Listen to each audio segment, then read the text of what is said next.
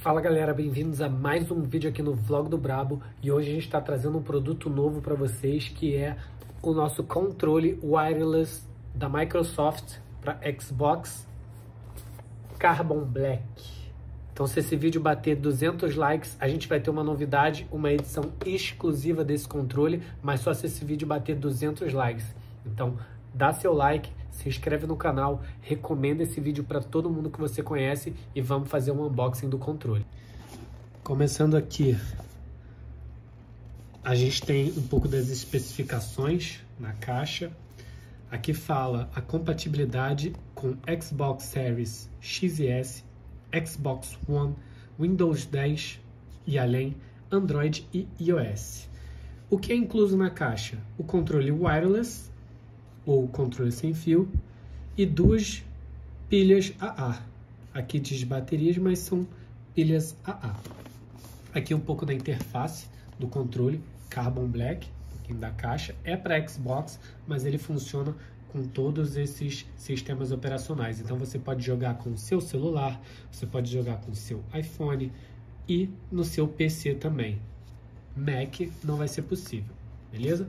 Então wireless controller, Xbox. Vamos abrir aqui, né? Primeira abertura do menininho. Acredito eu, né? Assim a gente espera que seja. É. É, acho que é. Aqui o símbolo da Microsoft também. Então, ó, como é que ele abre, bem bacaninha. Vamos ver o que, que tem dentro dessa caixa, né, galera? Estamos aqui com o controle. É a primeira vez que eu tenho um controle de videogame. Tá meio sujinho, então imagino que ou ele já, sei lá, pelo, alguém já abriu. Ou ele era assim, caraca, ó, ele é bem gostosinho de pegar. Eu não, eu tenho uma leve, um leve receio, um, um, preconceito com o controle de Xbox, porque eu sempre fui do PlayStation 1, 2 e 3. Então aquele controle é, cabe muito bem na minha mão. Mas a gente está aqui com ele. O botãozinho é legal de apertar. Esse analógico aqui é gostosinho também. Esse é mais durinho.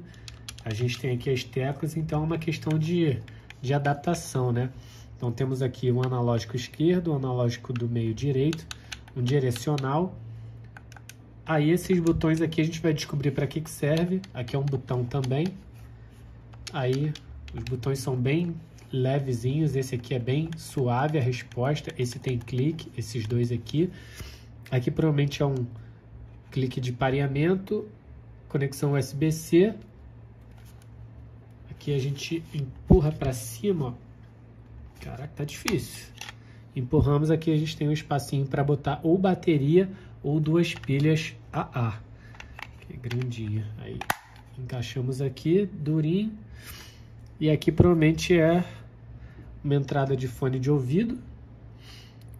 E essa conexão aqui parece ser uma conexão DisplayPort ou HDMI. Vamos descobrir se tiver algum manual de instrução aqui. Mas, gente, Carbon Black é um controle bem bonito preto carbono, né? E a gente vai testar esse controlezinho já já. Aqui as duas pilhas que vem com ele, pelo menos vem com pilha. Duracell, né? Beleza. Vamos colocar, o controle vai ficar pesado, né? Depois que botar as pilhas. Então tiramos aqui essa parte. A estrutura, o acabamento dela é bem bacaninha assim. É, faz jus, né? Um controle de quase 400 reais. Então aqui a gente tem esse guia, que promete é um guia de início rápido. Aí ele mostra como que você faz para abrir e para ligar o controle. Então esse botãozinho daqui é o botãozinho de ligar o controle.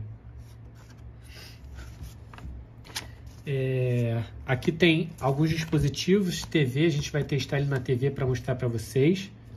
Virar aqui para ficar melhor a luz para vocês. É, notebook, então dá para você conectar nos dois e provavelmente você precisa fazer download no site da Xbox para fazer o pareamento dele nos sistemas é, de televisão ou então de computador. Então a gente chega aqui na segunda parte, né, como fazer o pareamento.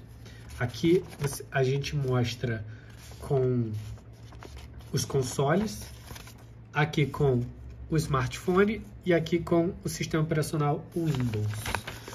Parte 3. Aqui não diz exatamente o que, que tem que fazer, mas provavelmente acho que ele mostra, tem três tracinhos, então provavelmente diz que, é, vamos descobrir, né? Aí aqui, Settings, Bluetooth Controller, e aqui o 5, o controle está pareado. Então, é, provavelmente ele demora até... Ah, eu acho que tem que apertar por 3 segundos para fazer o pareamento com o computador. Então, vamos fazer o testezinho agora, né, galera? Fazer esse unboxing já... Fazer o, o pareamento aí para vocês. Mas primeiro vamos ver esse guia de instalação aqui e a gente já faz o o pareamento para vocês entenderem como é que funciona. Então aqui, acho que aqui é o guia de, de acessórios em várias línguas e garantia provavelmente. Isso. Guia regulamentar do produto, garantia e contrato. Então basicamente aqui não tem nada de manual. Isso aqui não é muito sugestivo, podia ser melhor, então pecaram nisso. Então Vamos fazer o seguinte, vamos colocar a pilha aqui, as pilhas, e tentar fazer o pareamento. Mas vamos descobrir, porque se eu não tiver Bluetooth no computador, acho que não vai dar para fazer o pareamento, né? Porra, agora, agora ferrou. Mas vamos tentar fazer na TV também. Controlezinho plugado. Fechamos. Ó, o controle já fica bem mais pesado com isso. É uma anatomia muito doida. E agora a gente vai descobrir como que faz o pareamento dele com o sistema operacional Windows. Vamos ver se vai dar para fazer isso, né? Porque ele pede para ir, ah, achei, acessórios é, e app. Só que aqui não tem nenhum link para app. Aqui tem Game Pass, assine o Game Pass, jo aí jogos, aqui tem página inicial dos jogos, dispositivos. Aqui tem consoles, acessórios, é, jogar, comunidade, suporte, meu Xbox, desenvolvedores, mas aqui ele não tem como conectar com o, o PC. E a gente vai descobrir isso agora. Tá, beleza. Aqui a gente tem a, a dificuldade, né, de, de fazer o controle. Precisamos ir no suporte para descobrir. Para você fazer o, o, a conexão do controle, aqui ele tem as formas de conectar via cabo USB, conectando um carregador micro USB na parte superior do controle e a outra extremidade no computador. Se você estiver usando um Series Box é, controller Xbox Elite Wireless Series 2 ou controle adaptável Xbox, conecte seu controle usando um cabo USB-C. Esse aqui parece um USB-C, tá? Se o dispositivo Windows não detectar o controle após sair do modo de suspensão, pressione o botão Xbox, que é esse botãozinho daqui, para ligá-lo novamente ou desconecte-o do dispositivo e conecte-o novamente. Esse é com cabo. Conectar o controle sem fio, você precisa de um adaptador sem fio Xbox para o Windows. Se o computador tiver o Xbox sem fio integrado, que eu não sei se isso é no sistema operacional, você poderá conectar o controle diretamente sem o adaptador. Vamos descobrir isso agora, mas eu acho que não tem, né? Então você conecta o adaptador sem fio, ativa o controle pressionando o botão Xbox. Então, ó, acabei de ativar. Pressionei o botão Xbox. Quando você liga o controle, o botão Xbox começará a piscar. Isso aqui é para parear. Pressione e mantenha pressionado o botão emparelhar no adaptador sem fio do Xbox. Uma pequena luz pica, piscará por vários segundos. Pressione e segure o botão emparelhar na parte superior do controle. O botão Xbox no controle piscará mais rapidamente, que é o que está acontecendo aqui.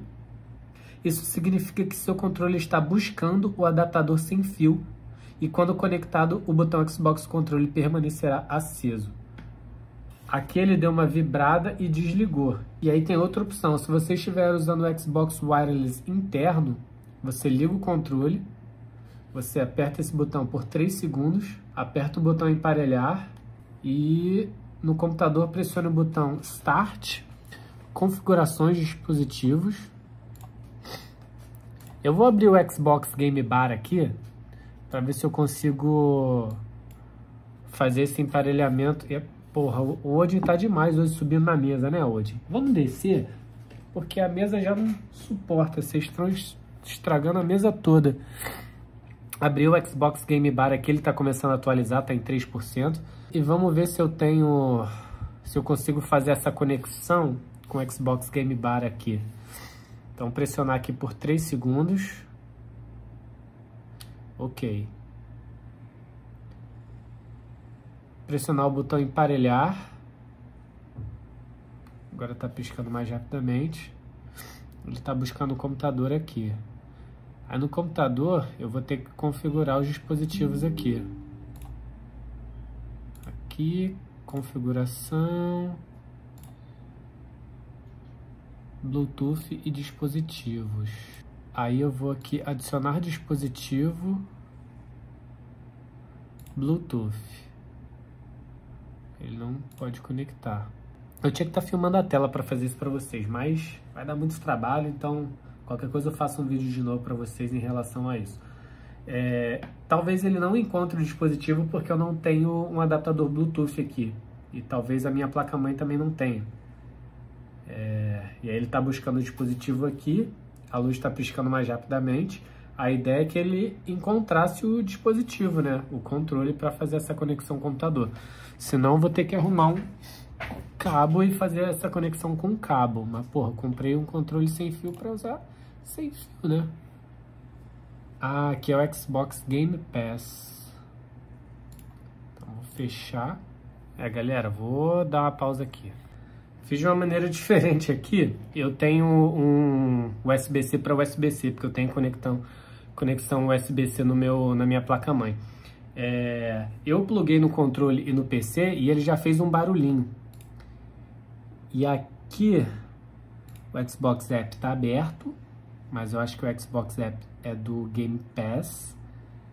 Uh, é, do Game Pass. Aí eu tenho que conectar o Game Pass. Ou assinar o Game Pass. É, o adicionar dispositivo ainda está buscando, então pelo visto ele vai continuar buscando. Mas o meu controle está ligado ali. E eu não consegui fazer a maldita conexão. Então vou cancelar isso aqui. Bluetooth e dispositivos, porque eu não consigo adicionar um dispositivo.